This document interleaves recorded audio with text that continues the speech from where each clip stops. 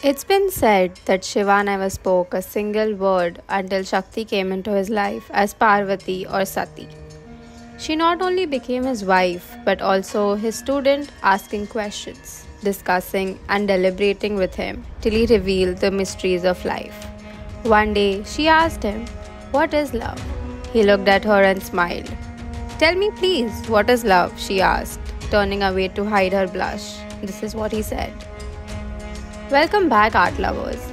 Ever wondered what secrets the gods are hiding? How does their love story shape the entire cosmos? We've got all the answers for you.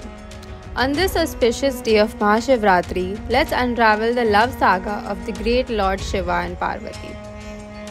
Shiva is mostly associated with a serpent, a necklace of skulls, a trident, and a third eye he uses for enveloping his enemies into a ball of flame. There are many different styles of pictures of Ma Parvati. Often she can be seen as the family woman with Shiva at her side and her young children Ganesha and Kartikeya in her lap.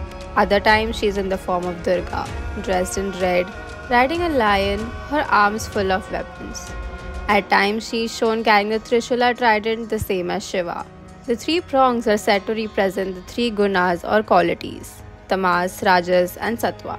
After the heartbreaking loss of Sati, Shakti emerged once again, this time as the daughter of King Himavat and Queen Meena. Little did they know that the infant princess was destined for an extraordinary fate to be the wife of Shiva. Growing up, Parvati found herself enchanted by the thought of Shiva. Her heart, destined to be entwined with his, led her to the Himalayas where she embarked on a journey of penance to win Shiva's elusive heart. However, Shiva, still immersed in the grief of losing Sati, remained unaware that Parvati was the very incarnation of his lost love. Parvati continued her severe penance for around 5000 years and had stopped eating and drinking altogether, becoming skeletal in appearance. So determined was she to be with Shiva that her penance equaled that of the Mahayogi Shiva himself. From this great penance, Parvati came to remember her past life as Sati and thus realized that she was the incarnation of Shakti. The energy she created from her penance grew so strong that it reached all the way to Shiva, who stirred from his meditation. Noticing Parvati, he became immensely impressed by the princess and he too noticed that she was his lost wife.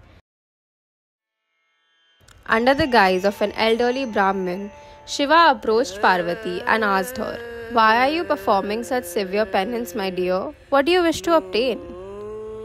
I am the reincarnation of goddess Sati, his other half. We are incomplete without each other. Knowing that her heart was true, Shiva revealed himself to Parvati and tearfully reunited with one another, agreeing to marry. On the day of her wedding, Parvati awaited Shiva at her palace in the company of her family. But when Shiva arrived, he appeared in a terrorizing form with his body smeared in ash and snakes all around his neck and hair. Upon seeing this, Parvati's parents were left in shock and horror, with many other members of family fainting out of pure terror. In order to help her family and save Shiva from embarrassment, Parvati takes the fierce form of her aspect, Chandraghanta, and approaches Shiva.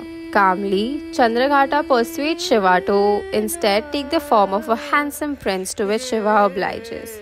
The two of them have a grand wedding and remain happily together at Mount Kailash.